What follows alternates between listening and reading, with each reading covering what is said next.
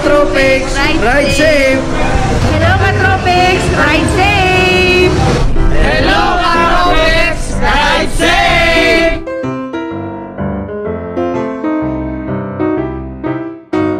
Okay mga katropics, welcome back to my vlog. So right, nasa Manila Museum tayo banda. Ito maganda kasi dito, meron siyang monumento diyan, no? meron siyang meron mga fountain mga katropics, maganda dito. So yung mga katropics, pahangin muna tayo dito, no? relax muna tayo dito saglit. Eh kasama ko nga ngayon mga katropics si Ramram. Ayan po si Ramram oh. Ah, ito po aking munting kaibigan mga katropics. Ayan po si Ramram. Oh, yan oh. Kasama ko ngayon si Ram Ram. Ayan po. So yun mga katubig to, rest, uh, rest muna tayo dito saglit. Pah- Pahinga muna tayo. Maganda kasi dito mga katubig kasi mayroon siyang ano, ah, mayroon, mayroon siyang fountain diyan, oh, di ba? Masarap magpahangin dito. Okay. So mga katrabis, by the way, Happy New Year sa inyong lahat. Alright? Bagong taon, mga bagong pag-asa, no? Bagong blessings. Pwede. Ating ilakad ngayon, ating pasaran ngayon ang ah, Bisikleta, Maynila. Kasi papunta ko ngayon ng Quiapo. So, atin lang daanan.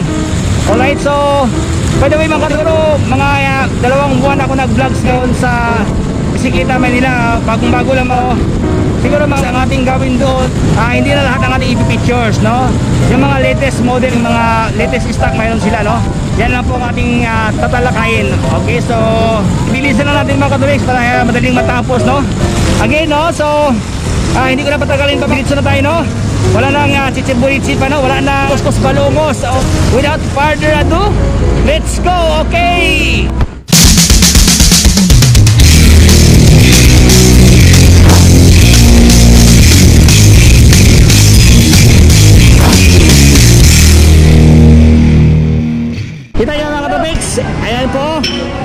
Bisikleta, Maynila.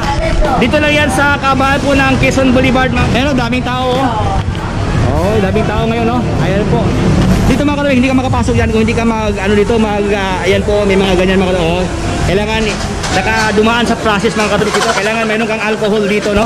May alcohol at saka na ano, ah, para malaman kung mayroon kang lagnat dito. Joke lang mga katuwis ha. So, didiretso na tayo dito mga katuwis, sa labas pala mga katuwis, mayroon silang mga tutim dito. Ayan o, tutim o. Ito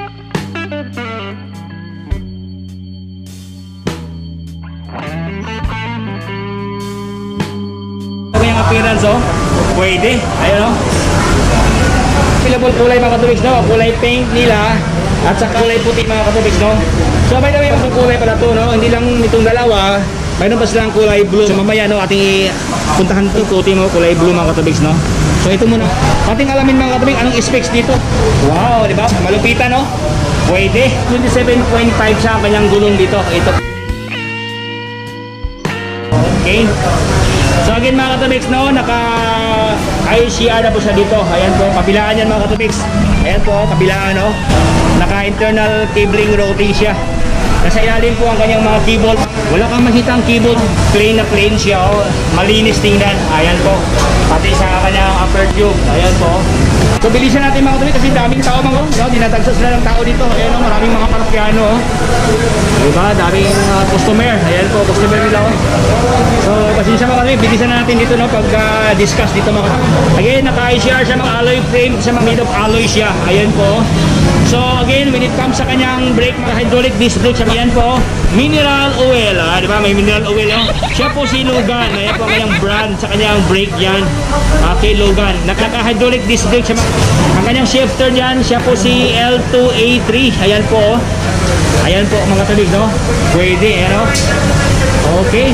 So ang kanyang speed po naka naka 3 by oh, naka 3 by 8 speed siya mga katropex. Ayan oh. Okay. Ang mga katropex naka 3 by siya oh, di ba? 3 by 8 speed siya. Okay, again powered po siya ng L2A3. Ayan po ang kanyang RD diyan. Okay, ito naman ang kanyang FD. Okay.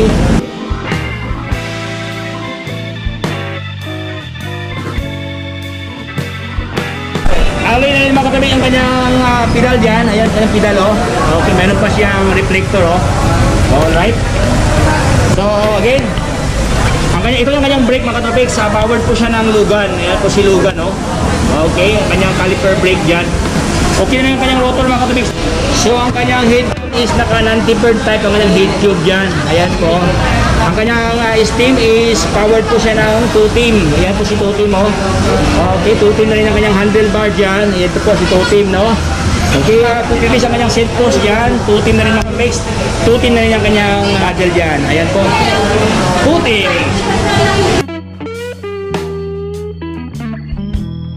Uh, meron din sila puti, ito na kulay puti, meron din sing uh, model orange, no? Siya po si Aprela, kala ko April 4, ayan po, Aprela ako.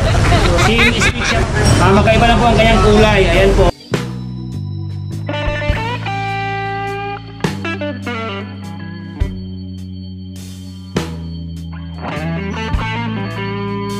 Talagang 11,000 pesos. Mayroon ka ng 2-team na alloy frame. Ayan po, no? Ah, powered po siya ng ah, L2A3, ang kanyang ah, shifter dyan. So yun mga katabings, no? So ating pasalan mga pang 2-team dito na kulay blue kasi tatlong 2-team dito mga Ito po siya, ganun din mga 2-team. ah, yan po, si Aprela, kulay blue. So yung kanina mga kulay pink at saka kulay puti, ganun silang blue mga katabings. So light blue siya. Ayan, no? So same price mga katabing, same specs siya. Ayan po. Same po ang kanyang appearance. Ay, magkaiba ang kanyang appearance kasi ibang kulay. Pero paras lang po ang kanyang specification mga katabing. No? 27.5 ang kanyang size dyan. Ayan po si Tote mo. Tunnel cable kasi yan. Wala kami kitang keyboard. Naka-ICR na po siya. Powered po siya ng L2A3. No? 3x8 speed siya. Naka-alloy frame siya. Ayan po si Tote no? Sa lahat mo naghanap niya ng ibang model na Tote, yan po si Flex. Oh. Ayan po si Flex. Okay, siya po di, siya din si po si Totim, no? Pinsan sila ni ano, Aprela. Ayan po si Aprela, oh. Oh, ito naman si Flex. Ah, okay, pwede. Ito mga kayong ganda, ito mga kayong kasi makapal po ang kanyang down tube. Ayan, oh. Nasa mga 3 inches ng kanyang kapal dito. Ayan, oh. So, ang kanyang size is naka 16 po ang kanyang frame yan. So, when it comes sa kanyang uh, wheels, mga is naka 27.5 siya. Ayan mga katabiks, oh. Again, when it comes sa kanyang uh, shifter mga katabiks, siya po si L283, no? Okay, naka-mechanical disc brake siya mga katabiks dito. Ayan po. So, ang advantage dito mga katrobix kasi hiwalay pa yung brake at saka yung shifter dyan. So, anytime mga katrobix, no? Pwede mo siya palitan ng hydraulic disc brake dito kasi nga hiwalay siya, hindi siya combo shifter. Maliban lang kung combo shifter mga katrobix, medyo mahirapan ka mag-upgrade, di ba? Pero ito mga katrobix, hiwalay siya. So, anytime, anytime, okay, anywhere, pwede, no? Pwede mo siya tanggalin dito. Palitan mo ng hydraulic disc brake pwede siya i-upgrade yan. Again, ah naka generic type ang kanyang brake dito mga katribix no? Again ang kanyang shifter siya po si L2A3 ayan po mga katribix when it comes sa kanyang shifter po naka 3 by ayan po mga katribix naka 3 by ang kanyang crankset yan no? Ah, chain ring yan mga katribix no? Ayan po tapos naka ito po. Naka 8 speed so ang kanyang RD mga katribix ito po oh, L2A3 din. Ayan po ang kanyang RD L2A3 yan. ito naman kanyang FD oh. So okay So again mga tuwis no, naka-alloy frame siya dito. Okay, alloy ang kanyang batalya dyan. Okay, na ang kanyang price mga tuwis, halagang 9,500 pesos. Okay, naka-lockout na dito. Tutim na rin ang kanyang uh, fork dito, no? Okay, naka quick release mga katropex dyan. Ayan o, quick release siya, oh. Kabilaan po siya mga katropex. Okay, naka-quick release na po siya, no? Madali na po siya bunutin dyan. Ito po, Repute po ang brand ng kanya, kanyang caliper brake. Ayan po. Naka-mechanical disc brake siya mga katropex. Ayan po, no?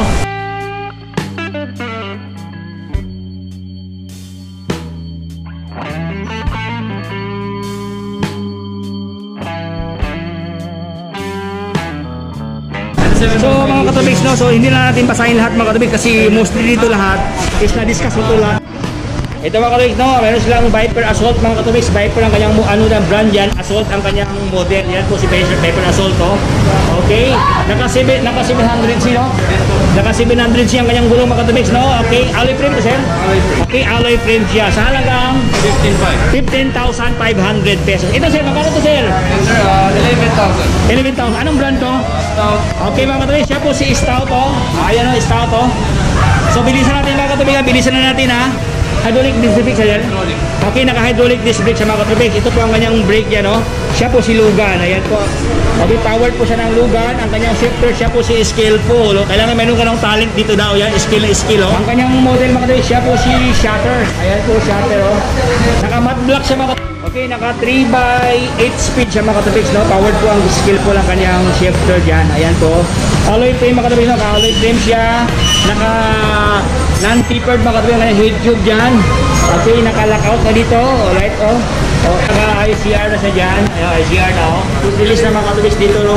Okay, naka-tusilis na po siya. Ayan po. 27.5 ang kanyang size, mga katubis. Ito ang sa kanyang frame, naka-medium size siya, mga katubis. Ayan po, medium siya, oh. Okay. Sa halagang 11,000 pesos, ayan po mga katubis, mayroon ka ng stout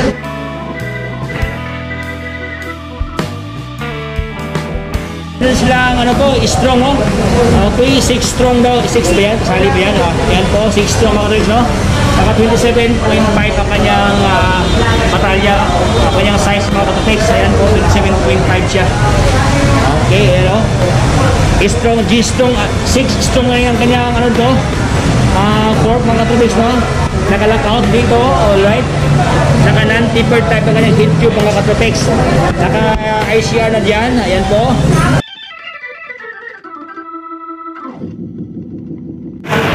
So, when it comes sa kanyang shifter, mga katubiks, naka-combo shifter siya, no?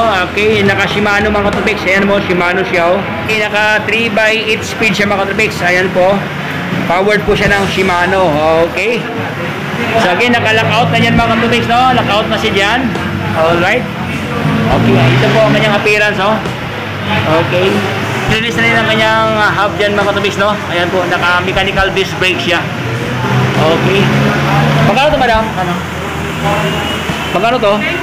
Sa halagang 10,000? Sa halagang 10,000 pesos. Wow, lupit mga katabis, no? Murang-mura na pala dito sa, ano, ah, Bisikleta, Maynila. Abot kaya sa bulsa mga katabis, no? Ayan, no? Pwede. Sa halagang 10,000 pesos, meron ka ng ah, alloy frame, naka internal cabling routing na siya mga katabis.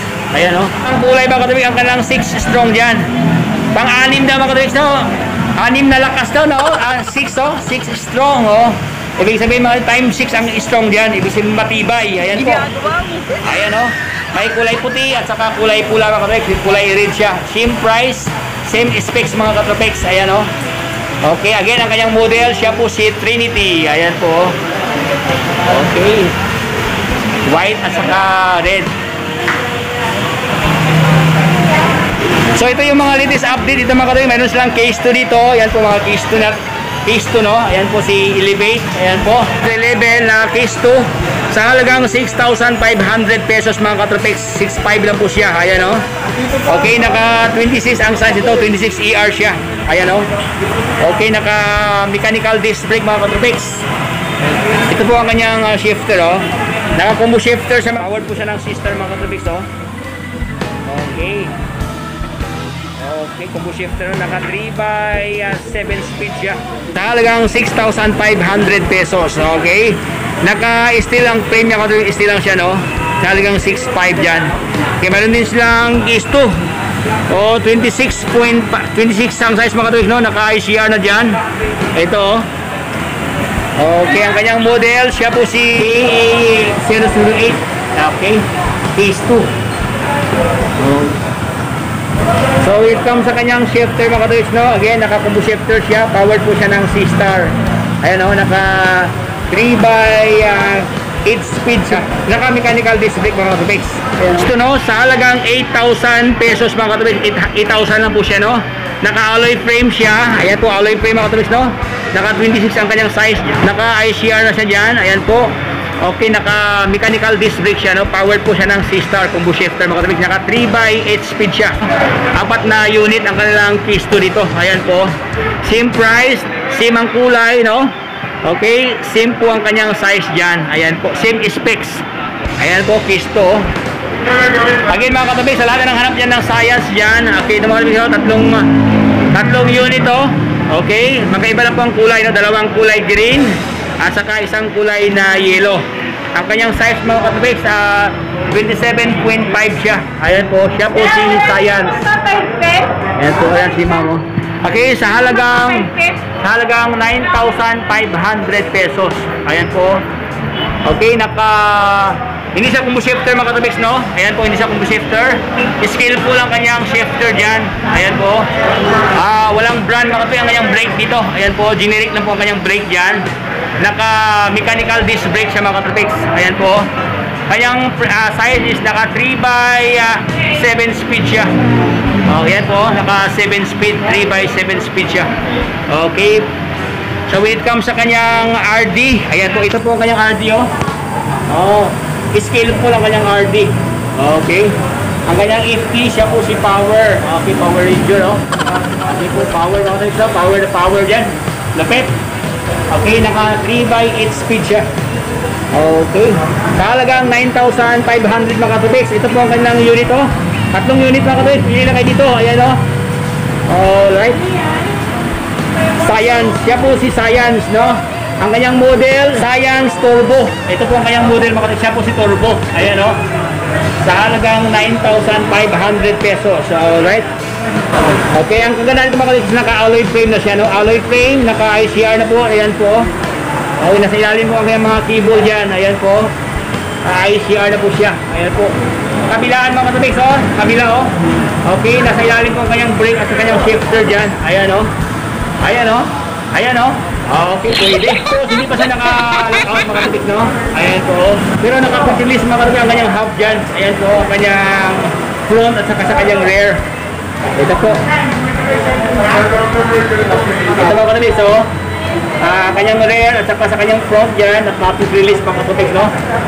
Alright, pwede.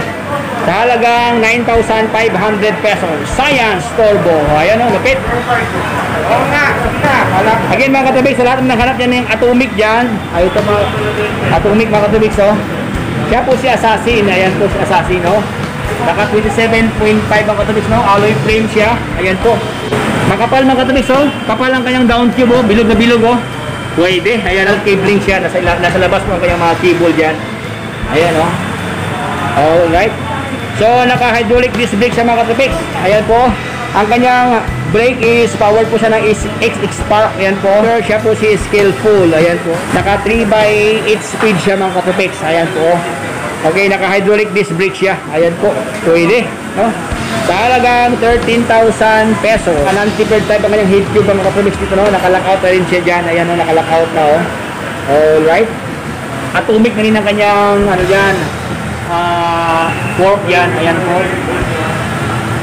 Okay, at moving ang kanyang form ng glossy black mga katubigs, no? So, ito yung mga stock na dito mga katubigs, no? So, hindi natin pahabain mga katubigs, no? Kasi na-vlog ko na yung iba dito, no? Meron sila mga kids bike mga katubigs, no? Alright, meron din sila mga helmet yan. Ayan po mga helmet, oh. Meron sila mga nutshell helmet yan. Ayan, mga nutshell. Mga, ayan, mga nutshell, oh. Mga MTB dyan, road bike, at yung mga helmet dyan. Kumplito. Okay mga katubigs, sa lahat ng hanap dyan ng mga handlebar dyan. Ito, meron silang handlebar mga katubigs, oh. Okay, pwede. Ano nyo sila mga parts, yung accessories dyan, dito banda, no? Mga accessories dito mga katubig, no? Ano sila mga rotor, ayan po mga rotor, oh. Ano silang wheel slick mga katubig, no? Wheel slick na ano, spoke, oh. Okay, pwede. May mga pedal dyan, oh. May mga cable dyan. Pero nyo sila mga, ano, pang malakasan na hub dito, okay? Saddle, ito po, no? Mga ilaw dyan.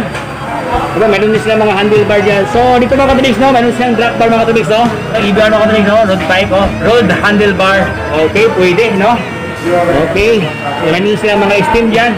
So, again, kumplito mga katubigs dito sa kanila. Din silang mga, ano dyan, no? Mga, mga rim dyan. Ito, mga rim mga katubigs dito, oh. Din silang batalya, no? Si Kuratik. Ayan po, Kuratik, oh. Meron din silang iba't ibang kasing mga tires mga katubigs dito. Mga, mga, ano, tire, no? Okay, yan po. So, yan po. So, ito yung latest update mga katubig dito sa kanila, no? Alright, ito po. Dami mga katubig, no?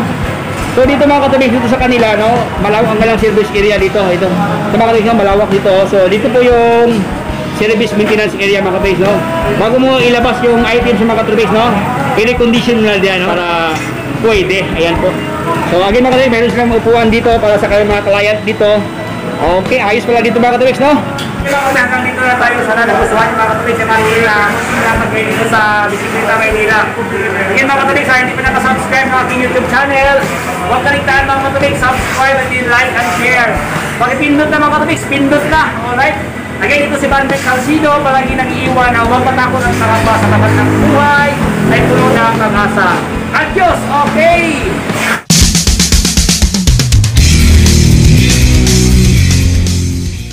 Hello, Katropics! Drive safe! Hello, Katropics! Drive safe! Hello, Katropics! Drive safe na tayo! Hello, mga Katropics! Subscribe na si Katropics! Thank you! Hello, Katropics! Drive safe!